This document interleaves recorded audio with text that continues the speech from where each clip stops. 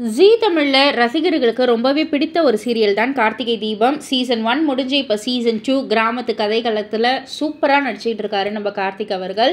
So இதில் கார்த்திக் அவர்களுக்கு ரெண்டு அண்ணன் இல்லையா? அதில் அருண் அப்படின்ற கதாபாத்திரத்தில் நடிக்கிறவங்க தான் ஆயுப் அவர்கள். ஸோ இவர் வந்து இந்த சீரியலை விட்டு இப்போ குவிட் பண்ணிட்டாரு வெளியேறிட்டாரு. ஒரு சில காரணங்களால் ரசிகர்கள் கொஞ்சம் சோகம் அப்படின்னு தாங்க சொல்லணும். ஏன்னா இந்த மூணு பேரையும் தான் வந்து பிரதர்ஸ் அப்படின்ற மாதிரி நல்லா ரெஜிஸ்டர் பண்ணிட்டாங்க. ஸோ இப்போ இந்த அருண் கதாபாத்திரத்துக்கு வேற யார் வருவாங்க? அவங்க கார்த்திக் அண்ணனா வந்து நாங்கள் வந்து டக்குன்னு வந்து அதை நம்பணும் எடுத்துக்கணும்.